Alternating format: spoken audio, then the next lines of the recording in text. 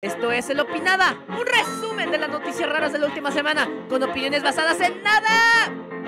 Niña celebra su cumpleaños con temática de Jesucristo, carnal. No, hombre, el verdadero mi fiesta no es como la tuya. Las imágenes de la fiesta que se compartieron en TikTok muestran a la niña disfrazada como el personaje bíblico, con un manto blanco y un cinturón rojo en la cintura. También se pueden ver decoraciones con imágenes sagradas como los doce discípulos y la última cena. Este es el cumpleaños más soñado de las abuelitas. Güey, mi abuelita estaría encantadísima de ir a esa pinche fiesta, güey. O sea, literal, yo creo que más de una abuelita de querer hacerles una fiesta así cuando eran baby. Pero pregunta, Genchi del chat.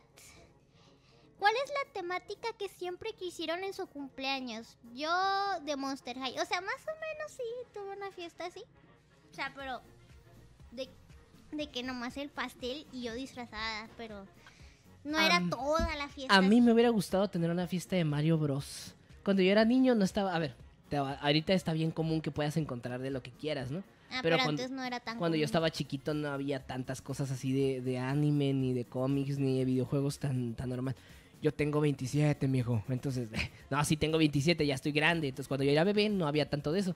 Y siempre me quedé con ganas. O sea, el de Spider-Man sí era muy común porque por aquel entonces había salido la primera película de- del, del Spider-Man, la, la del Tobey Maguire. La de y que el vato acá de que, oh, me picó la araña. Y, y oh, elige araña, ya valió verga. Soy Te voy a chupar el culo. soy el duende verde, araña, ya te cargo la verga. ¡Ah! es, esa. Ay, bichos efectos bien verga. Esa es la película que estaba. Y por de, de Spider-Man sí me tocó mi fiesta, pero de Mario Bros. no, nunca la tuve. Y yo me acuerdo que a mí me gustaba que mi mamá me comprara eh, hongos de estos del mercado, porque yo crecía con esos. Cuando era niño, yo me los comía y yo según sentía que crecía. Porque, porque yo- Qué pendejo. O sea, de que, mamá, ándale, hazme sopa de honguitos, es que quiero crecer, porque yo era muy chaparrito. En la primera yo era muy Todavía. chaparrito. No es cierto, ahorita me la pelas. Pero sí, yo soy, yo soy bebé. Ahorita te puedo usar a ti de mochila, güey. Pero yo soy bebé. Mike, ah, eso ya lo leí. Mike, Mike cazadora de microorganismos. Eh, el juego de fiesta, Chocolate. pon los clavos a Jesús. no mames. Eh, pero esta es la versión cristiana de la, de la fiesta de cumpleaños satánica. Ponle la lanza a Cristo, ¿no? Ponle. Hacen, hacen sus concursos. De, y el regalo es un rosario. Un rosario rosita. El niño que reviva tiene un dulce. Vámonos, Ay. El niño que camine, que, ¿cómo se llama? Que convierte el agua en cheve. Lo llevamos, lo va a querer mucho su tío. Y si la niña era la Este- bebé, ¿eh?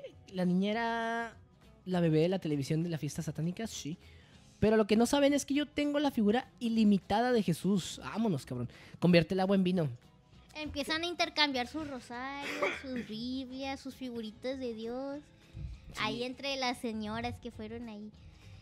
La madre de la niña, Graciel... ¿Qué? Graciele Pastrana.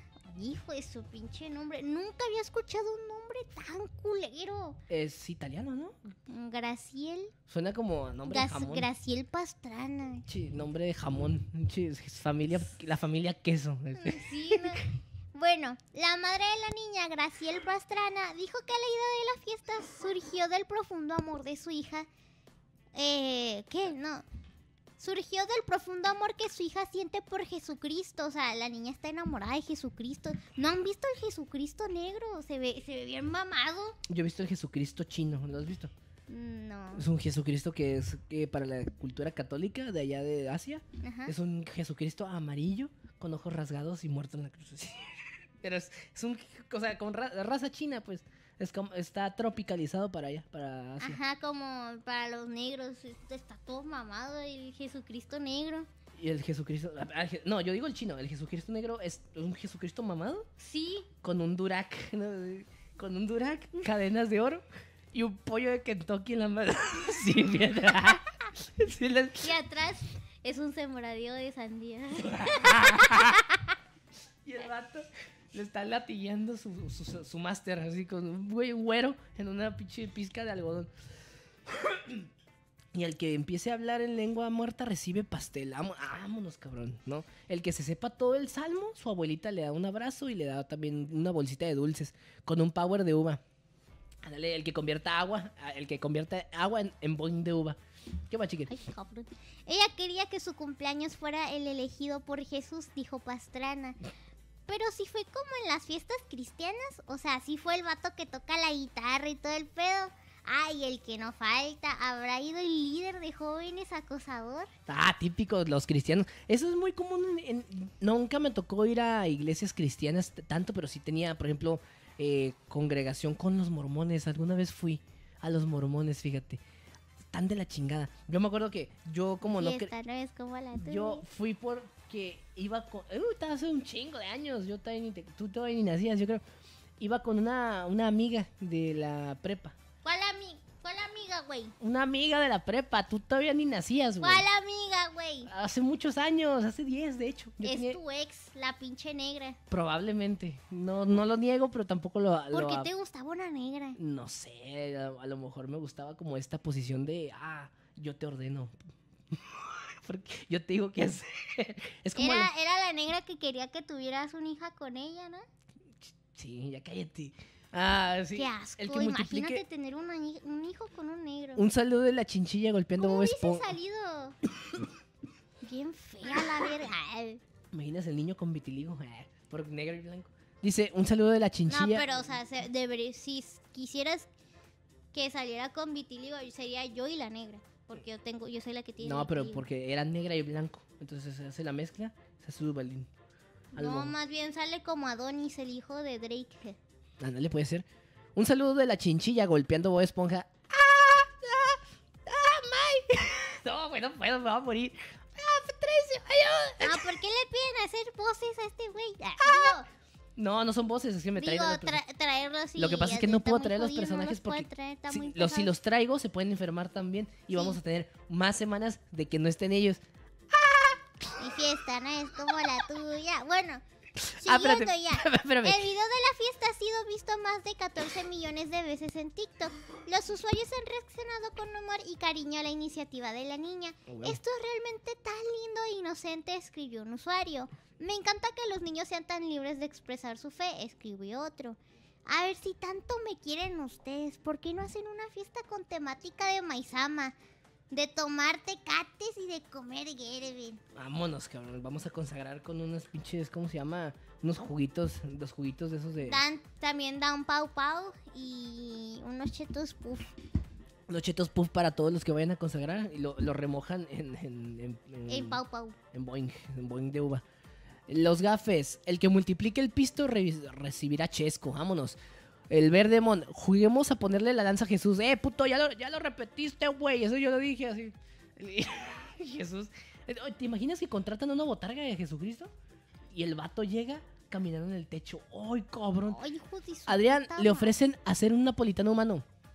¿Qué, ¿A qué te refieres? Ah, ya. No, pinche desagradable. ¿Sabes lo que es un napolitano? No. El helado ese que es de tres colores, rosa, amarillo y blanco. ¡Ay, qué asco!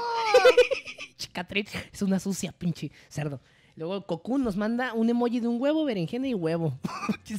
¿Quién sabe, qué, querrá ver- qué habrá querido decir con ese mensaje críptico? El Elvia, fiesta de la May, es la fábrica de huevos. No se vale, güey. Yo, pensé que ya habíamos superado el chiste de que yo salía de la fábrica de Wonka, güey. Ay, la temática de Charlie. Ay, va a morir. No me hagas reír. No, lol. Ah, uno de los juegos era Descubre el Judas, era tipo Among Us. El que le haga otro hijo a María le damos pastel. No, era chiste, no. La fiesta de maíz en la del de Pitufo. Cosas cola, güey. ¿Me puede contar el contexto del chiste? Sí, que la fiesta de May va a ser en la fábrica de Charlie, de Wonka. Ay, va a morir. Esta no es como la Me imagino a los niños de si tuvieras fe, si tuvieras fe con un granito. Pinches fiesta bien miada, güey. No, ¿has visto los videos de fiestas cristianas? No, ¿cómo son? Haz de cuenta que ponen música cristiana, Pero no, o sea, no como la de un granito de mostaza, sino como... Como la de mi fiesta. O sea, neta. Sí, yo- como... Mi eh, fiesta es como la tuya. Contigo no pasa. ¿Esa? Ajá, sí. Por- y se ponen a saltar y ellos, no, qué locos. Nos estamos alocando demasiado. Tu fiesta se prende con una cerveza, la mía con una reina valera. ¿Es esa? May con temática de los pitufos, no, güey. O sea, Tu fiesta depende de lo que te den de tu amiga borrachera. La mía se prende con una droga. No, con el dedo del, del cura. Eh, parece ska, pero bien leve. May, ¿esa es verdad que te invitaron al Día de los Pitufos? Es mm, no. No, no. Pero con la cristalina. No, pero yo me acuerdo que cuando era niño, yo sí iba al catecismo y cantábamos la de. Si tuviera fe, si tuviera fe con un granito de mostaza.